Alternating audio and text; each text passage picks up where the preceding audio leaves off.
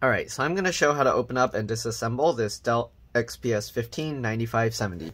So to do this, we're going to need a PH1 or JIS1 screw screwdriver and a T5 or Torx 5 screwdriver. Alright, so first thing we're going to open up this cover here, just lift this up, and then remove the two screws under here. Sorry, I got hiccups right now.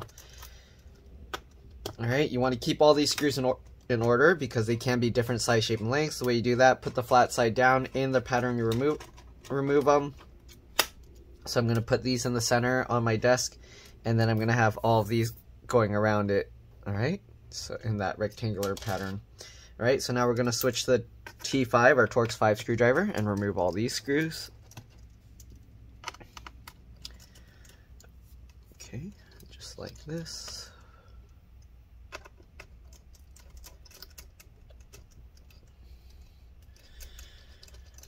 Alright, if this video helps you, make sure to like, subscribe, and share my channel with others so that they can also learn how to upgrade and repair their devices. If it helps you save a bunch of money, please consider contributing a little bit to the channel so that I can continue making these videos for a living.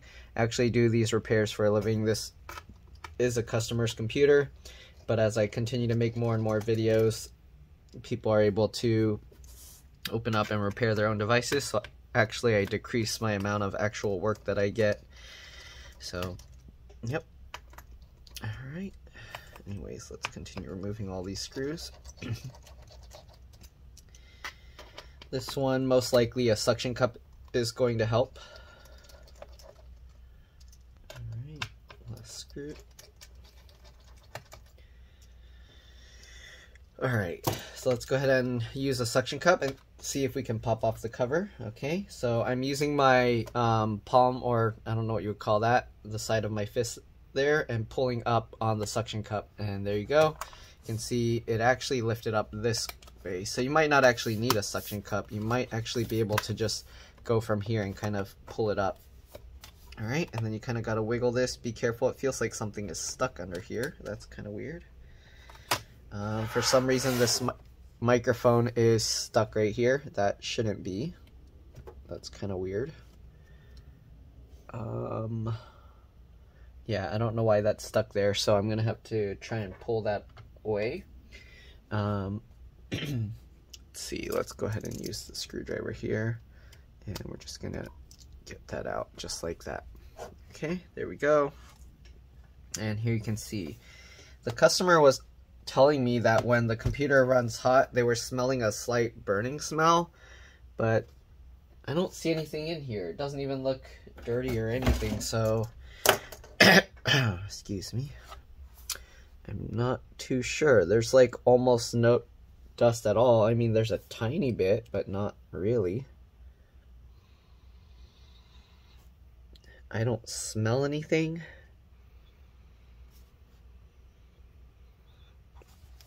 I don't I don't smell any burn smell or anything at all. So I don't know. I mean, I can brush the stuff off, but it's very very light dust. I don't think that's gonna do anything. So we'll just clean that out, and I guess we'll see. There's practically almost no dust at all. All right. Little cracks here.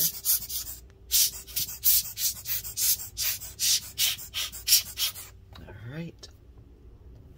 Let's take a look here. So,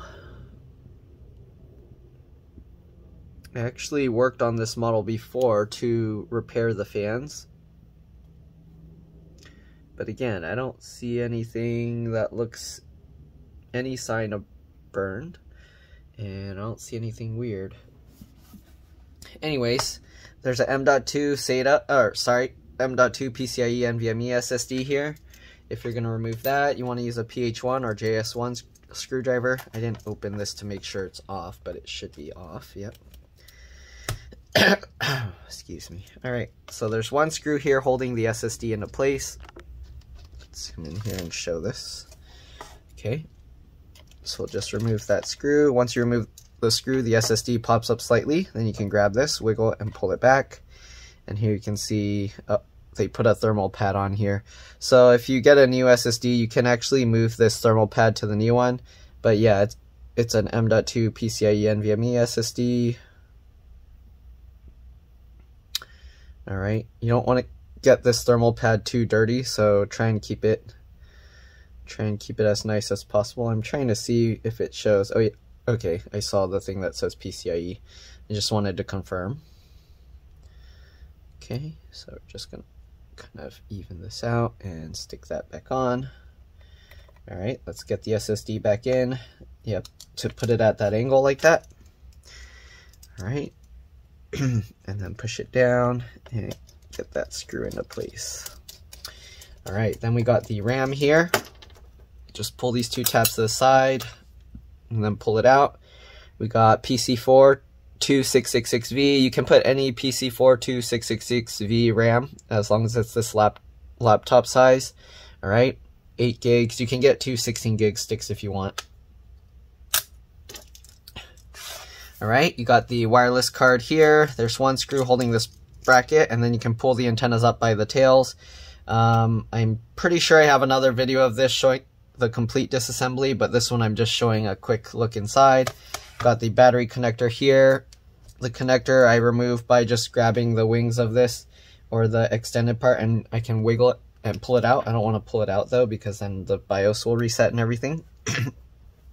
Alright, so again, this is just a quick look inside. You also got the DC jack or charge port connector right here. So if for some reason your charge port's broken, you can replace that, but you will have to remove excuse me, the three screws here for the um, uh, the hinge, and then you have to actually pull the hinge up. Um, the easiest way to do that is you kind of open the thing 90 degrees first, and then uh, you can hang the screen off the edge of your of your desk, and then remove the screws, and then you can kind of lift it slightly up. But anyways, um, you will also have to most likely disconnect the um, LCD LVDS connector here. to do that, you'd have to remove these two screws and take this bracket out. And if before you remove the connector here, you do want to just connect the battery and then press and hold the power button for 10 to 15 seconds. All right. And most likely you will also have to remove the battery because this cable looks like it's going to be blocked by the battery itself.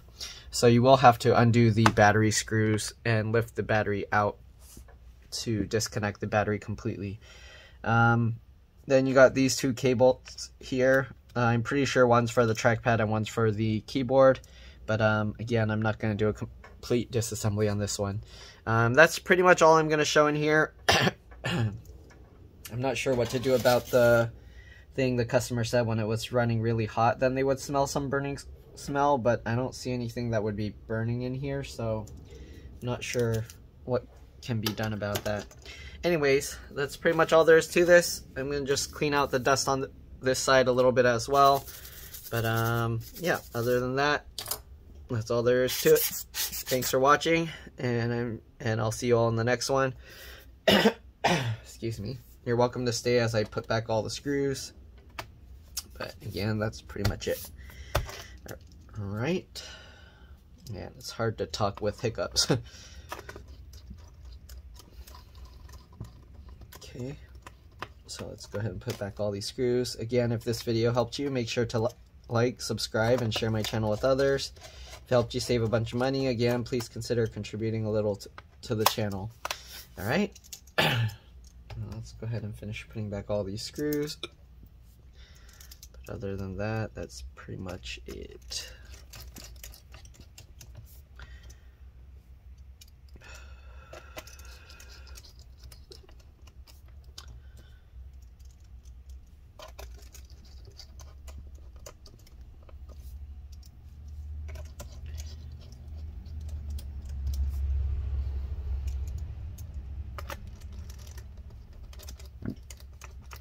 Yeah. Go away, hiccups. Got like hiccup burps.